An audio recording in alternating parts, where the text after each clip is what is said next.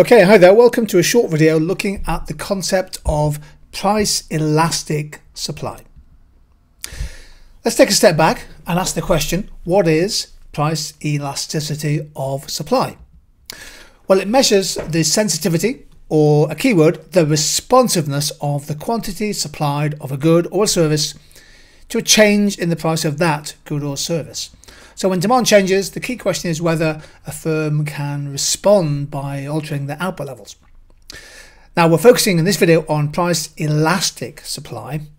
That occurs when the coefficient of elasticity of supply, don't forget the coefficient is just a number, when that is greater than plus 1. So for example, if we're thinking about uh, a manufacturing process, perhaps Heinz or a major supermarket producing own label baked beans is looking to produce an extra 10,000 cans of baked beans a day. I mean, typically we would say that the supply is likely to be fairly price elastic. Modern manufacturing, mass production should make it fairly easily to ramp up production by 10,000 cans a day.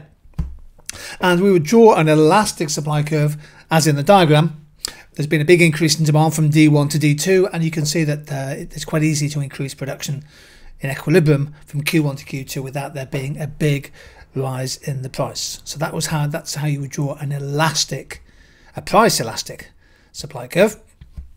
Now supply will tend to be price elastic when the supplier or the manufacturer has plenty of spare productive capacity uh, available to increase output. Maybe they've got some factories working a little bit below potential.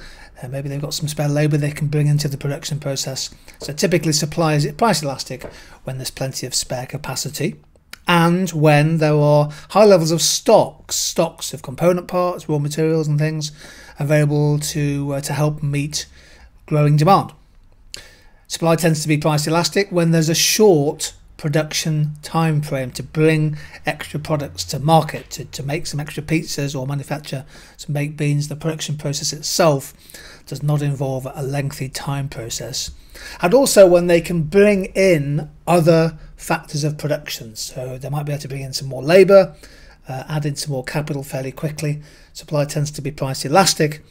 When the ease of factor substitution is high scarce resources scarce inputs can be reallocated easily to help meet growing demand.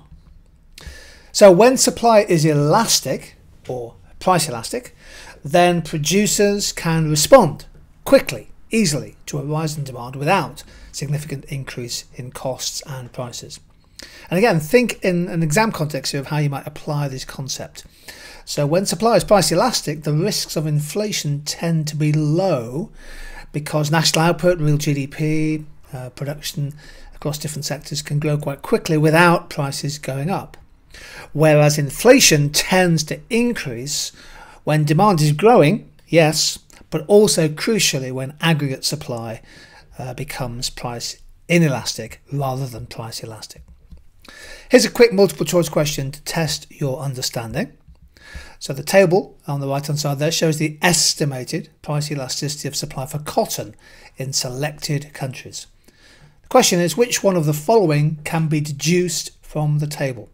So this is a moment I think to press the pause button on the video and have a go at the question and then just press play when you want to go through the answer. Okay, so we have uh, four countries there, Australia, Egypt, India and Mexico and the estimated price elasticity of supply of cotton. What did you get for your chosen answer? The correct answer is C. Egypt has the lowest price elasticity of supply, 0.16. So just working through the answers here, supply is price inelastic in India because it's less than 1. Supply is price inelastic in Mexico. No, actually Mexico is the only country with a price elasticity of supply greater than 1. So that is marginally price elastic. Supply is most responsive to a change in price in Australia. No, uh, Mexico has a higher price elasticity of supply. So there we go. That was a quick video on price elastic supply.